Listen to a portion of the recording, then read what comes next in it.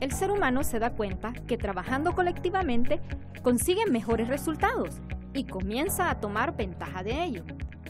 Después de varios siglos de trabajar con técnicas cotidianas, observa que así como ha trabajado colectivamente con buenos resultados, debe buscar la manera de producir cosas en cantidades grandes a una sola vez, sin mucha mano de obra. Y es cuando nace la industria, que en capítulos anteriores ya hemos hablado de lo que fue y cómo se dio lo de la revolución industrial. Pero en esta ocasión hablaremos de cómo se ha desarrollado esta labor en Honduras. Pues sucedió que durante la época prehispánica, los españoles fueron quienes introdujeron la forma industria a nuestro país. Una de las primeras fábricas que se instalaron en Honduras fue la producción del añil, es decir, el colorante para teñir telas el cual se elaboraba de la siguiente manera. Se emplearon pilas hechas de mampostería. La mampostería era una producción en donde se trabajaba con cal, talpuja y piedra, las cuales estaban enclavadas en lugares abiertos que posteriormente se llamaron obrajes.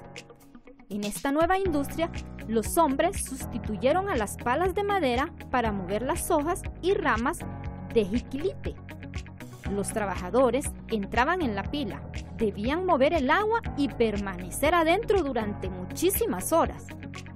El obraje se componía de varias pilas, algunas comunicadas entre sí, más uno o dos depósitos donde se daba la parte final del proceso de obtención del colorante, filtración y purificación de la misma. La solución del colorante se dejaba reposar un día y entonces se procedía a recibirla en unos filtros hechos con manta o lienzo crudo.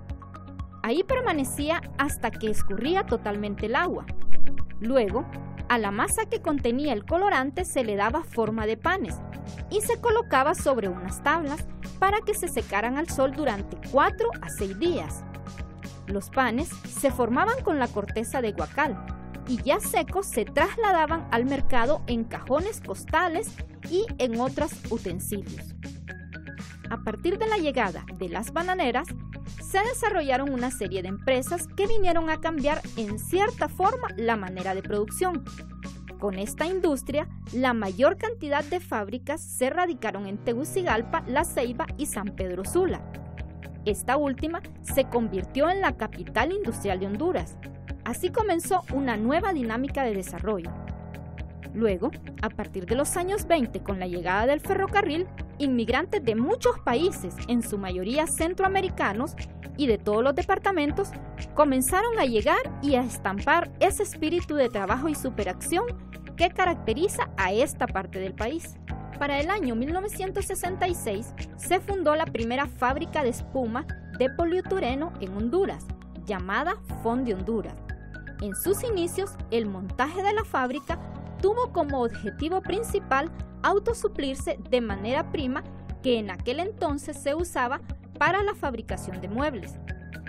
Pero con el tiempo se comenzó a suplir el resto del país. Este producto, debido a su gran calidad, supera a los importados de países centroamericanos, lo que abrió puertas en todo el territorio nacional. Fonde Honduras, en la actualidad, por su moderna tecnología y las marcas líderes, es el fabricante de esponjas y camas más grande del país. Ha dominado el mercado nacional actual. De 1987 a la fecha, la industria de manufacturas textil en Honduras se ha constituido en uno de los sectores productivos más importantes del país, tanto en términos de inversión, generación de empleos, como exportaciones convirtiéndose así en el motor económico en varias de las ciudades de la región norte del país y en el pilar de la economía nacional. Con esto, Honduras se ha convertido en el principal exportador centroamericano y del Caribe de productos de vestido y de confección. Además, se ubica en el tercer lugar mundial como exportador a Estados Unidos. Tenemos mucho en nuestro país que ofrecer. Un ejemplo de ello es que los diarios internacionales reportan que la calidad de los puros hondureños en la actualidad compiten con los de Cuba y que gozan de un prestigio de más de un siglo. También, las revistas turísticas señalan a las islas de la bahía como lugar favorito para aquellas personas que buscan vacacionar en un lugar hermoso. La ubicación privilegiada en el corazón de Centroamérica y con una riqueza en recursos naturales, entre ellos reservas forestales, depósitos minerales, excelente potencial para el cultivo de mariscos y una belleza natural óptima. Esto permite que nuestro Honduras figure en el mercado mundial del ecoturismo.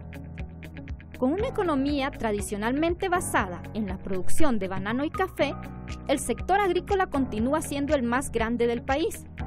De igual manera, existen muchas oportunidades en la industria de la maquila. Más de 200 plantas industriales sirven como inversión directa a las compañías estadounidenses, asiáticas y de América Latina.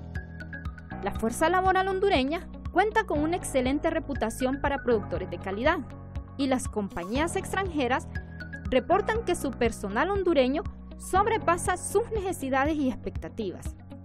El gobierno hondureño ha reconocido el potencial de crecimiento que tiene el sector industrial, por lo que ha venido implementando activamente una política para atraer inversionistas, esto a través de un sistema de zonas industriales de libre comercio. Asimismo, las facilidades portuarias que Honduras posee a través de Puerto Cortés ofrece una ventaja de logística y de costo de transporte marítimo, valorado por las empresas de este sector, que enfrentan exigencias de entrega rápida. Estos temas son de sumo interés para el futuro de nuestro país. Éxitos.